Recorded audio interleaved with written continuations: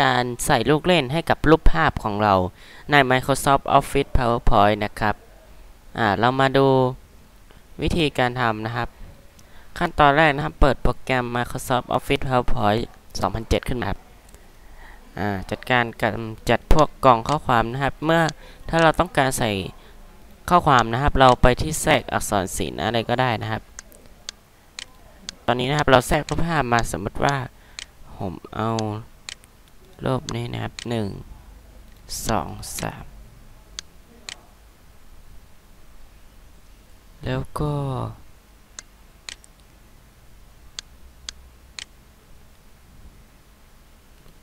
สี่แล้วก็สี่เนี่ยครับ สมมติผมนะครับ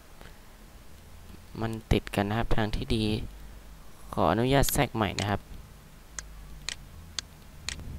เราควรที่จะแทรกมาทีละรูป พื่อความสะดวกนะครับ เมื่อเราแทรกมาแล้วควรจัดให้เป็นระเบียบนะครับ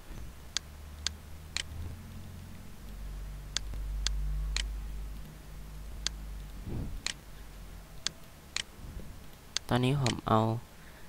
อเหลืออีกรูปนะครับ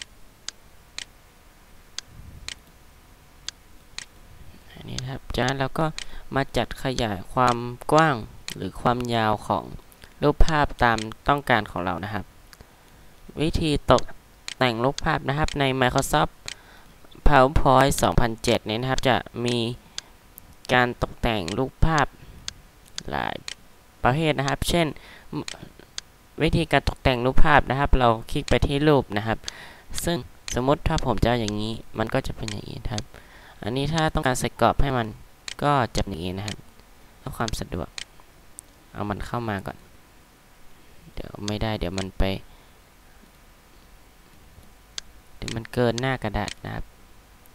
สมมติรูปนี้ผมจะใส่กรอบให้มันนะครับ ก็โอเคอรูปนี้จะเป็นใส่อย่างนี้ก็ได้นะครับ การทำลูกเล่นให้กับ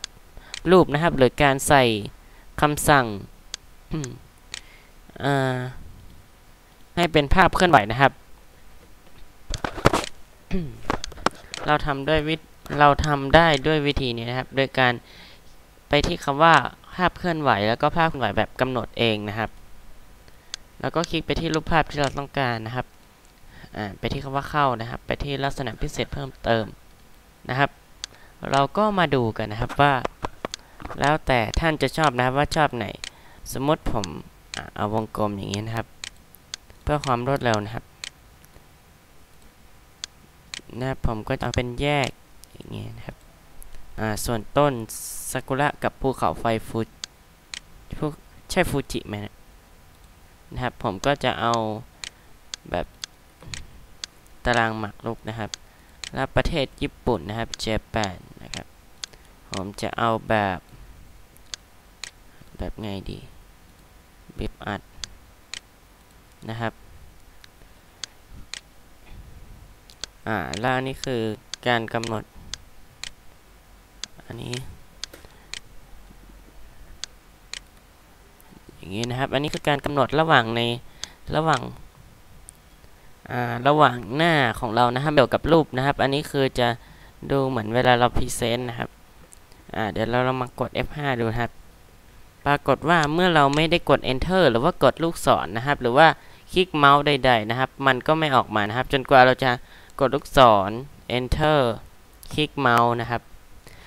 อ่าผมมีวิธีการง่าย ๆ คือ เราไปที่คำว่าอัตโนมัติอ่าไปที่คำว่าเลื่อนภาพนิ่งนะครับอ่าปลดเครื่องหมายถูกต้องที่คำว่าเมื่อคลิกเมาส์ออกนะครับ แล้วก็ไปคลิกที่คำว่าอัตโนมัติหลังจากนะครับ หลายท่านอาจจะเอาเวลาไม่เหมือนกันนะครับ อย่างเช่น สมมติเพื่อความรวดเร็วนะครับ ผมเอา 5 วินะครับอลองดูนะครับก็จะเป็นในลักษณะอย่างนี้นะครับ ขึ้นมาทั้งหมดภายใน 5 วิครับ ถ้าเร็วไปนะครับผมอาจจะเอาเป็น 10 วิก็ได้นะครับ 10 วิก็จะขึ้นมาทั้งหมดภายใน 10 วินาทีนะครับ อันนี้ก็จะช้าลงหน่อยนะครับ แล้วแต่นะครับ แล้วแต่ความต้องการของทุกท่านนะครับ ถ้าท่านต้องการที่จะคลิกเมาส์หรือว่าออกมาทีละภาพก็ตามก็แล้วแต่นะครับ อันนี้คือเพื่อสำหรับความรวดเร็วนะครับ ผมขอจบการนำเสนอ เรื่องการแทรกรูปภาพและการทำลูกเล่นใน Microsoft Office PowerPoint แค่เพียงเท่านี้นะครับ อ่า นะครับ เราก็บอกกันเช่นเคยนะครับ ติดต่อผมนะครับ www.facebook.com/tantistit.com เอ้ยไม่มี .com นะครับ ขอโทษครับ ติดต่อได้นะครับ